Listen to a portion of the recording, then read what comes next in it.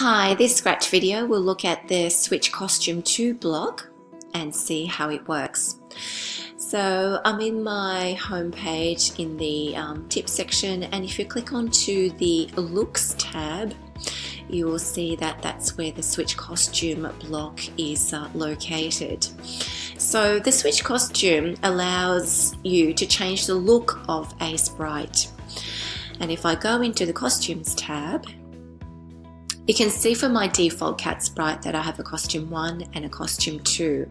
So how can I use these costumes to look, to change the look of the sprite and make it look like it's moving and um, walking.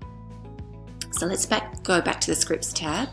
So this is a very simple way of testing out how this switch costume block can be used. So here we've got switch costume to 1 and switch costume to 2. So let's have a look at um, running this script and uh, looking at how it will work. So I'm in my looks script tab and uh, I'll drag out the switch costume to 2 and then I'll drag out the same block again. Now you can see that there's a little drop down menu here. So if I click on to switch costume to costume 1 and if I go back to the costumes tab here I can see that this is the costume that I'm referring to because it's got the costume name 1 here. So I can say let's switch costume to costume 1 and this can remain as costume 2. So if I click onto this block here, you can see that it has changed the look. And if I click onto the switch costume to one, you can see that it's changed its costume to look like costume one.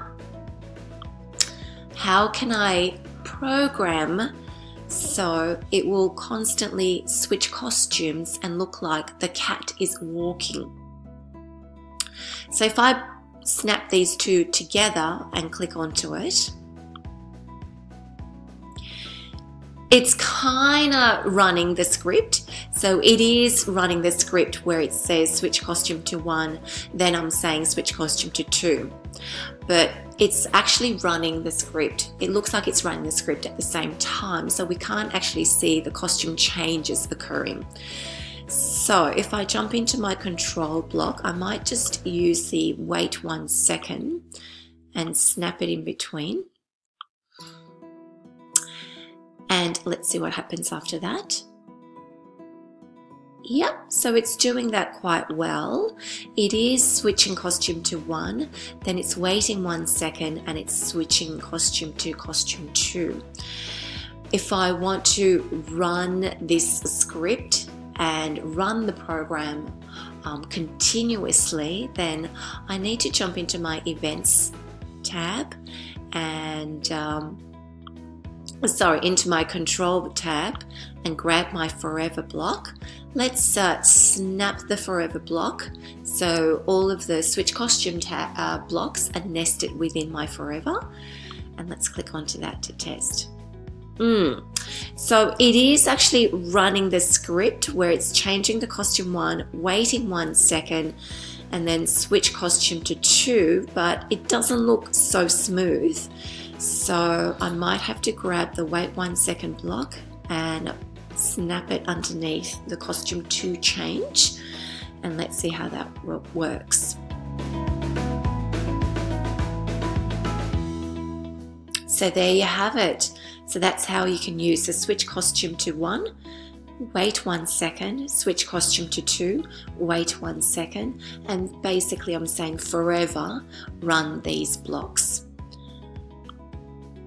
And to finish this off, I can add an event. So I could say, whenever I press the green flag, let's forever run these uh, scripts. So let's test that out. So I've clicked onto the green flag. It's switching the costume to one, waiting one second, switching the costume to two, waiting one second, and it's forever running these script blocks.